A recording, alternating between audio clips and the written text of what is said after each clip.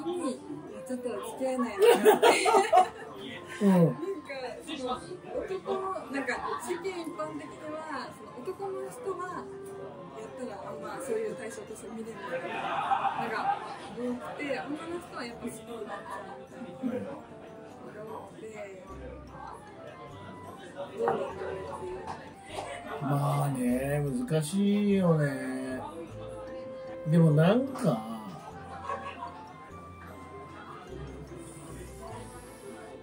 うーん。これは正しくないかもやけど結局なんか先にエッチする後にエッチするは言うてるだけで言い訳のような気もする。うんなんか結果先にしようが後にしようが付き合う人は付き合うし好きになる人は好きになるから。でもなんか結局先にエッチするってまあ人によるけどいやちょっとお酒をいつもよりいっぱい飲みすぎたから自分が弱ってるタイミングやったからその先にエッチする理由の中に好きで先にエッチする理由でも他の理由も上乗せされてする人もいる。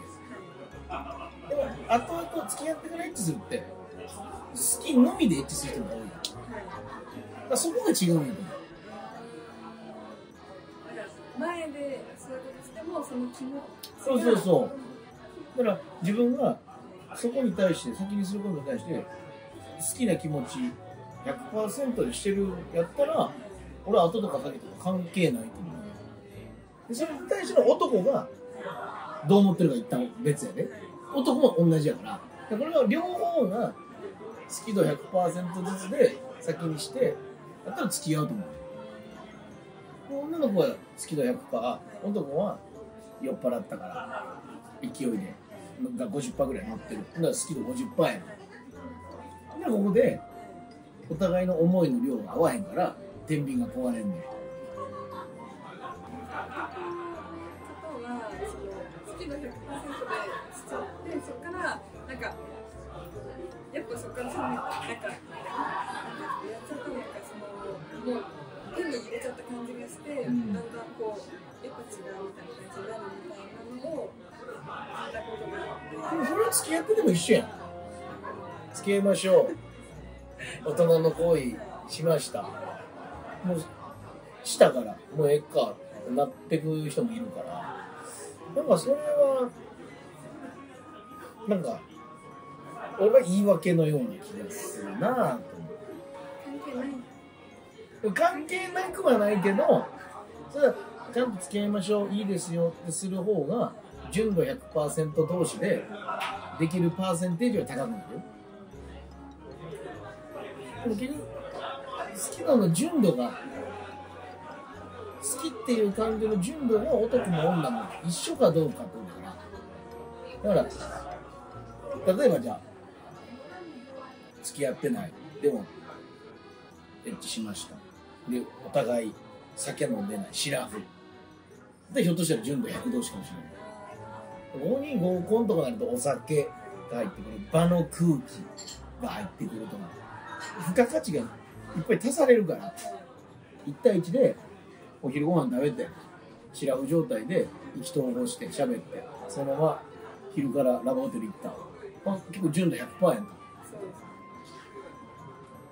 それとまた話が変わってくるからいかにそのエロに対する男も女も付加価値を見抜くしかないよねあこの人お酒の勢いやなあこの人別れた腹いせやな分からんけどなんか決まるんじゃないでこれは男もあるし女の子もあるからね女の子もまあなんとなくええか。かっこええしそんな好きじゃないけどまあ一回男前のエッチ経験してみようかな。もうある。で俺はそれを別に否定するつもりもないし気持ちもわかるし。でもそれでうまくいってる人をあんまり見たことはない。うん。だから俺だからだから結局極論は先にするよりかはさ付き合ってからした方がいいと思うねもゼロじゃない。ゼロじゃない分からんけど先にじゃあ男子とそういう行為に至った。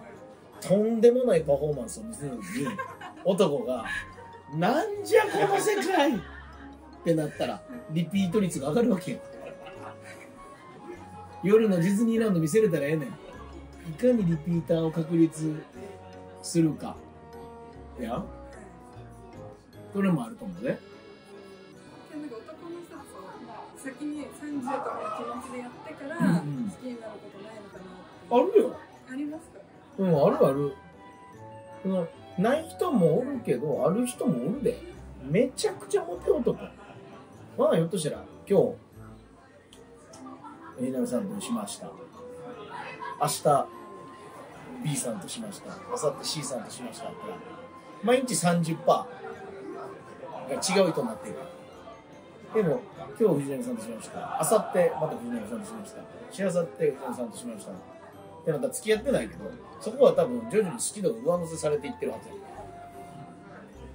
ずそういうパターンはで好きになって付き合うもあると思うんだよ。うん。なくはないんじゃない。特にまあ芸人さんでくくるのはよくないけど俺の周りにいる人ら先輩方が彼女おったけど遊びの人と結局結婚したって人は多いな。うん。でもなんだかんだ居心地へ癒される。そのしんどい思いして付き合う女子よりはちょっと楽に居心地いい女子の方がええっていう人もおるから、うん、なんか難しいよね。あと職種にもよるしね。うん。職種にもさよると思うんで。だから職種というかだから男性モテる男子モテる女子。とそういう行為に至ってしまったのか。意外に一途な男子一途な女子とそういう行為に至ってしまったのかとかにもよるし。今までとんでもなく遊んできた人とそうなったのか。とこにもよるし。いろんなのうん。でもなんかいろんな経験することが人生を豊かにすると思うしなそれはハッピーなことも含めあハッピーなことも含め、うん、だからなんか今の子供たちで思うのは YouTube とかもそうやし経験で覚えた方がいいことも映像で知識として入れちゃうからほんま最初は経験した方がええのになんならわからん自転車の乗り方もそうやけど乗り方わからんけど自分で乗ってこけて乗ってこけて怪我してでやっと乗れた。で自転車の危険性も覚えるし怖さも覚えるしでも乗った時の快感も覚えるし。でも今ってじゃあ自転車乗り方って言うから動画が出てきてなるべく失敗しないような情報が知識として入って知識として入ってそれをするから失敗する経験が昔よりはなんか少なくなってってると思う。それは効率的でいいことでもあるけど新しい何かを生むことはないなと思ってる失敗の過程で気づく。うん。俺だから料理動画なんかまさにそれやと思ってて。今膨大な量の料理動画が出てる。んだからその通り作って絶対うまいやん。俺も作るし。でも分量間違えた結果とんでもなくうまいもんできたやん。っていうミスから生まれた奇跡はないわけよ。でもなんかそれはミスから生まれた奇跡が良い人生を豊かにするような気がするんだよね何でも出てきます何でも出てくる何でも出てくる。まあ俺もそれ見てる側やからそうそう。あそうそう一緒よ一緒。俺も編集のこと自分で調べ調べてやり方を調べて自分で編集したりするけどそれで最低限のことはできるようになったで編集は。でも抜けてく速度も速い。から映像でなんか毎回その同じ作業するとき毎回映像見ちゃう。あわかるわかる。入ってない。うんだから本当に。